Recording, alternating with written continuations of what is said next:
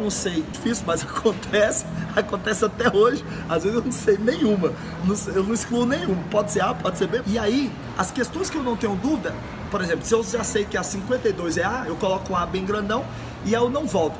Na segunda vez que eu volto para fazer a prova, o que, que acontece? Eu volto só para aquelas questões, eu faço uma ordem. Eu vou para aquelas que eu tô entre duas, porque é mais fácil de eu acertar.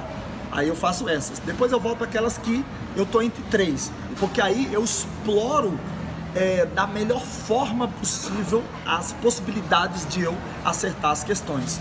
Eu fiz lá 80 questões.